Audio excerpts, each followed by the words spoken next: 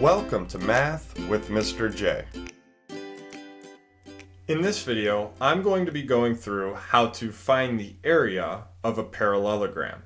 And up top, we have the formula that we're going to use. Area equals base times height. And we're going to talk a little bit about why that formula works.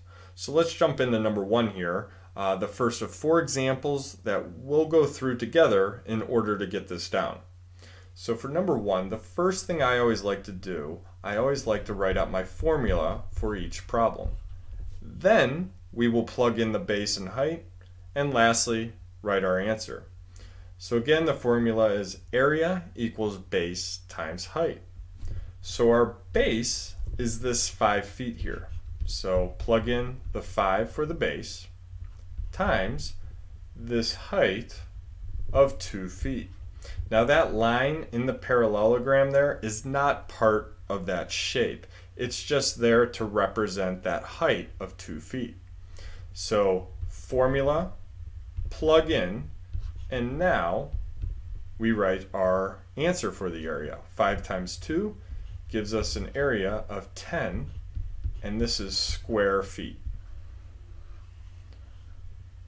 So when we take a look at a parallelogram, it kind of looks like a rectangle. It just doesn't have those four 90 degree angles. And when we find the area of a rectangle, we either use area equals base times height or length times width. So essentially we're doing the same thing here, and this is how it works. If we were to take this portion of the parallelogram and move it over to the right side, kind of like a puzzle piece, we would actually now have a rectangle. So we didn't change any of the measurements and we're still able to use the area equals base times height to give us the area, an answer um, for a parallelogram. So we're doing the same thing we do with rectangles, and that's why. So number two, let's write out our formula area equals base times height. We will plug in the base of 10 times the height of 7. Again, this line here is not part of the shape, it's just there to represent that 7 inches. So we get an area of 70 square inches.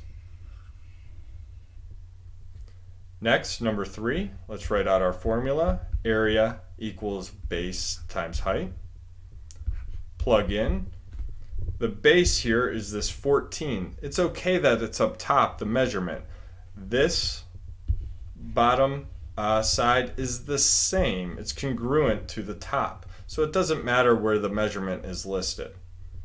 So 14 times a height of 2 and we get an area of 28 square meters.